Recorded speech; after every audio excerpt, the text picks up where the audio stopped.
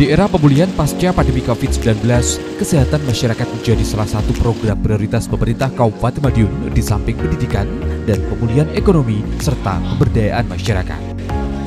Melalui dana bagi hasil cukai hasil tembakau atau DBHJHT tahun anggaran 2022, Pemkap Madiun merehab total puskesmas membantu atau pustu sebayi Kecamatan Gebaran agar dapat memaksimalkan pelayanan kepada masyarakat.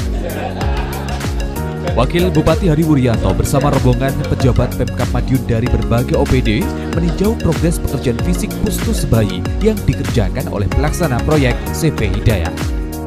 Pada pekan ke-12 masa pembangunan, progres pekerjaan fisik sudah mencapai 55,16 persen.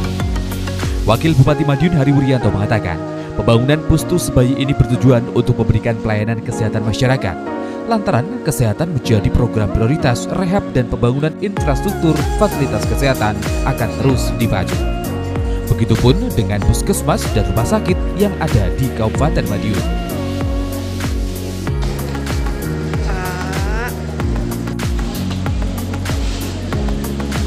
Alhamdulillah seluruh yang hari ini kita tinjau semua on schedule. Jadi sesuai dengan schedule yang sudah ditargetkan. Mudah-mudahan tidak hanya sesuai schedule saja tapi kualitas saya harapkan memang kita jaga karena berharap supaya manfaatnya benar-benar bisa dirasakan oleh masyarakat. Jangan sampai nanti masyarakat tidak bisa memakan okay? okay. sekali lagi kesehatan merupakan uh, program utama kami ya. Kesehatan pendidikan itu program utama kami. Jadi hanya beberapa setiap tahun pasti untuk kesehatan menjadi uh, prioritas. Alhamdulillah kemarin rumah sakit puskesmas sudah kita atasi. Mudah-mudahan bisa memberikan layanan yang maksimal kepada masyarakat. Ini yang kita harapkan makanya terus kita pacu supaya uh, fasilitas infrastruktur yang terkait dengan masalah kesehatan masyarakat kita lakukan ya. Sementara itu, Sekretaris Dinas Kesehatan Kabupaten Madiun, Amam Santosa mengatakan, pembangunan Pustu Sebayi menggunakan anggaran di BHJHT tahun 2022 senilai 600 juta 470 ribu rupiah. Pembangunan tersebut oleh Saiful Hidayah sebagai pemenang tender dengan masa kontrak 120 hari terhitung mulai 14 Juli hingga 10 November 2022. Progres pembangunan Pustu Sebayi tercatat sangat baik dan belum ada kendala.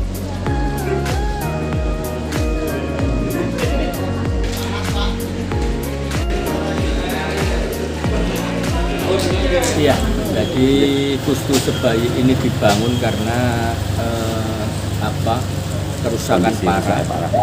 Waktu itu atapnya sudah nggak bisa apa, apa ambrol gitu ya. Dan itu ada anggaran dari Cukai ya 604 170 ini loh nilai kontraknya 600 470 yaitu dibangun masa kontrak E 14 Juli uh, 120 hari. Ya nanti tanggal 10 November harapannya sudah finish sudah selesai itu. Dan progresnya tadi itu cukup bagus ada 55 55, itu 55 itu kemarin uh, hari Sabtu tanggal 25 jadi minggu ke 11 itu sudah 55 persen 16